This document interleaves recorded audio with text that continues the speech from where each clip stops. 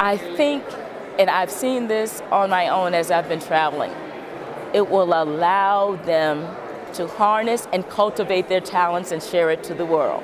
You do not need a brick and mortar building uh, to be a business person.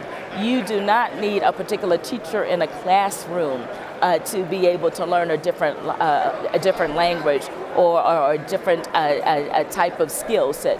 At the click of a mouse, what you don't have around the corner or in your school or in your community, you can have access to. It will open up opportunities, boundless opportunities for billions of people around the world. And that's why we're so fixated on connecting the next billion and the next billion and a billion after next. Uh, it is important, it is enabling, and to be honest with you, when my neighbor, regardless of where they live in the other 199 or uh, 200 uh, other countries around the world, when they're connected and when they are able to realize their fullest potential, we all benefit.